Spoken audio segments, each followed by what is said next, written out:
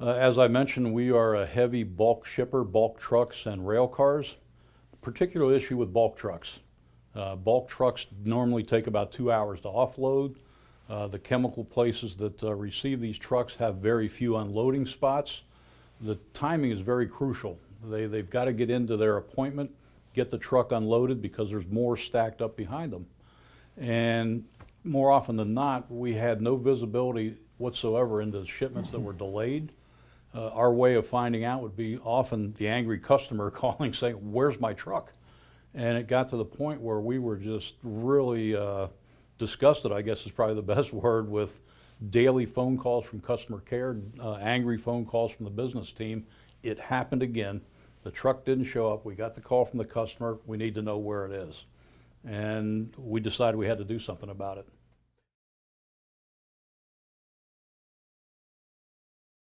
I mean, when you think about it, we were living in and still are living in the age of Amazon, right? So uh, it just perplexed us to understand why we could have a, an email notification that a package is on our porch, but yet we couldn't understand when a chemical uh, shipment of chemicals was being delivered to the customer. Loud and clear, uh, we heard, you know, get us away to find out exactly where that shipment is. Where is the truck located?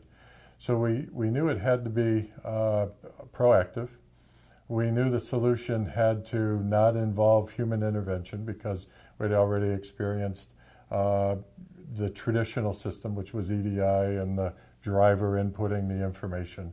We wanted it to be real time, we wanted it to be transparent, and most importantly, we wanted it the, the net to be cast to, a, to a wide audience, which included the customers, BASF, of course, and the uh, trucking companies or the carriers.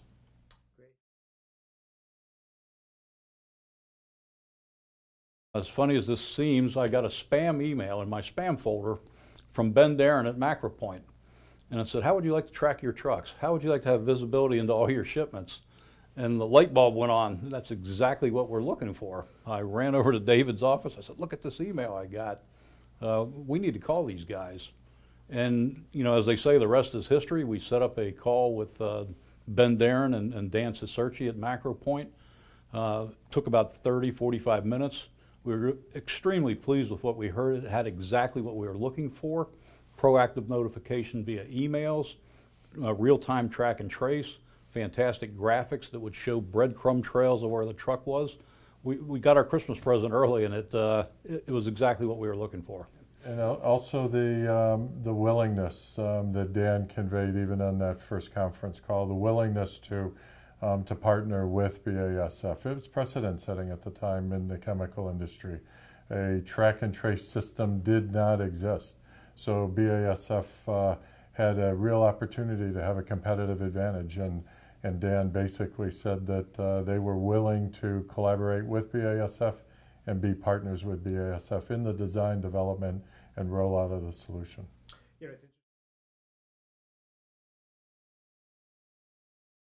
We started out uh, kind of using the 80-20 rule. We wanted to start out slow. We picked a, a fairly large volume carrier that uh, hauls a lot of our chemicals. Uh, went through a proof of concept with them. Uh, everything worked exactly as uh, the macro, uh, MacroPoint team described to us. Uh, from there, we grew to the second carrier, the third carrier.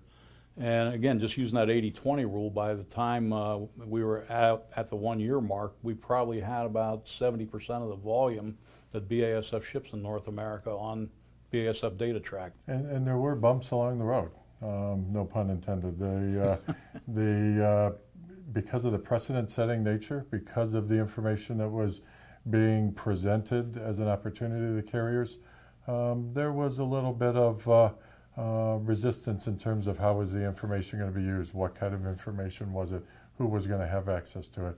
Again, I can quickly point to the MacroPoint team who was with us every step of the way, the weekly calls, the onboarding calls with each and every one of the carriers um, was always with a representative from MacroPoint. So the technical aspects that we weren't able to answer were answered, and I think did a lot to alleviate some of the issues or concerns that some of the carriers had early on. And before we knew it, uh, within really about a year and a half of this project, we now have nine BASF business groups in North America, probably nine out of the top 10 businesses that use bulk trucks on this system. It's now been assimilated into our bulk command center in New Jersey by the corporate folks. And uh, David and I are finally, after uh, you know, a year and a half to two years, not functioning as a corporate logistics team now. And to be honest, I mentioned uh, that BASF now is uh, hugely satisfied with this product.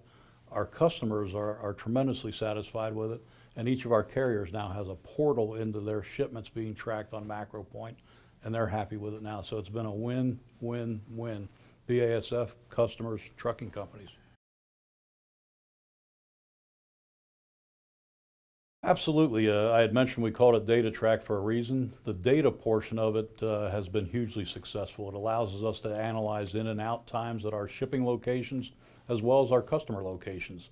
Uh, we've embarked on, as an example, a demurrage project, uh, basically to look at where are we having inefficiencies in our loading and delivery processes where we're wasting a truck driver's time. When he's sitting there waiting or, or just waiting on a shipping location or a receiving location to get that truck unloaded or waiting on paperwork, whatever the reason, that's counted against his driving time in the current regulations. And DataTrack has allowed us to take a, a serious look at that. We're also using DataTrack to uh, manage our carriers, which ones we uh, feel are our better carriers versus the lesser performers. Uh, DataTrack gives us uh, actual minute by minute uh, uh, arrival times for our carriers we're able to accurately, uh, like I said, to the minute, measure uh, which carriers are performing with on-time deliveries and which aren't. And as a result of that, we've, uh, we've awarded business to those superior performing carriers and uh, managed uh, strictly through the data that we're getting from MacroPoint. I think it's also um, important to know that as a predictive basis that we're looking at it uh, not only in terms of capacity, but some of the other issues that are uh, haunting the industry in terms of temperature control, in terms of predictive uh, metrics and enhanced reporting even as we go forward. We've even solved issues with uh, occasional outer route driving by drivers. Yeah. Uh, going from point A to point B, data tracks allowed us to see situations where they started driving, went up here, took their break, came back down, and then finally made it to the customer three hours late. The word from the terminal was, oh, the driver had to take his break. And DataTrack allowed us to go back to the terminal and say, well, yes, he took his break, but he was three hours out of route mm-hmm. taking that break. So, you know, analytics like that have uh, reduced incidents like that, improved customer satisfaction.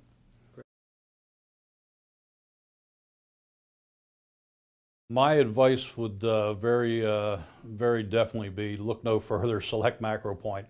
And for a number of reasons. Number one, we had a huge success story with them.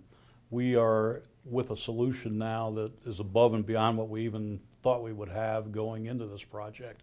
And it's all due to MacroPoint with the uh, GPS tracking, the analytics, and just the willingness to work with us. And those companies that stay um, in the traditional supply chain, I think are missing a huge opportunity because we're in the age of uh, 4.0. We're in the age of the digital supply network, which is one of the things that we're taking uh, DataTrack as a tool and really as part of the foundation that BASF is going to use as it continues to explore ways to go from the traditional supply chain to more of a, an incorporated, real-time, transparent digital supply network.